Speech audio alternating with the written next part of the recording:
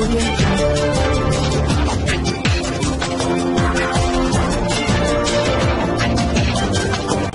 भारत केवल खबरें और कुछ नमस्कार मैं हूँ अंजलि। आरपी भारत में आपका स्वागत करती हूँ। तो चलिए शुरुआत करते हैं आज की किसी खास खबर से।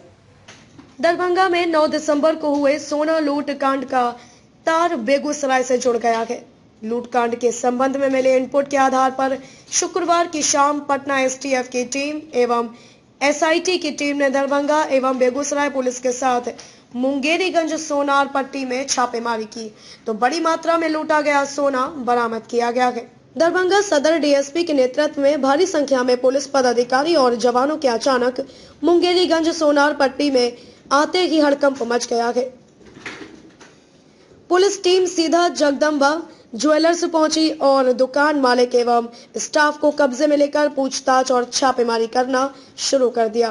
करीब तीन घंटे से पुलिस टीम पूछताछ करने के साथ साथ सभी स्वर्ण आभूषणों की जाँच पड़ताल कर रही है। जानकारी के अनुसार, इस दौरान पुलिस को लूटे गए स्वर्ण आभूषण मिले हैं।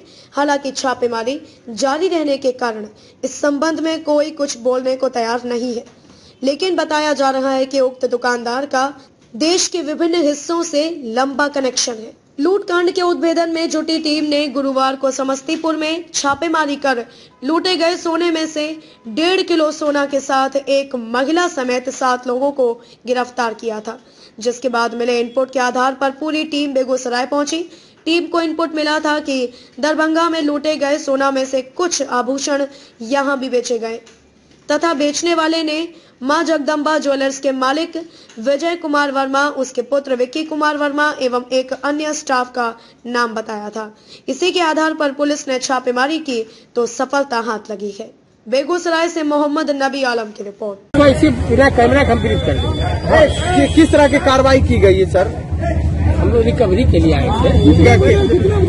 क्या चीज़ का रिकवरी था सर?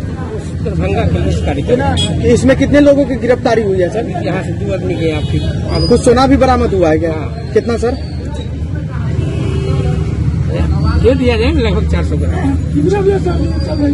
कितने देर तक छापेमारी चली है? चली है जिसमें आप आए देखें क्या। दरभंगा का तो बताए रहे दमदार निर्माण का भरोसा लाल स्टील टीएमटी बार्स। हर निर्माण के लिए उपयोग लाल स्टील टीएमटी बार्स। रिश्ता मजबूती का।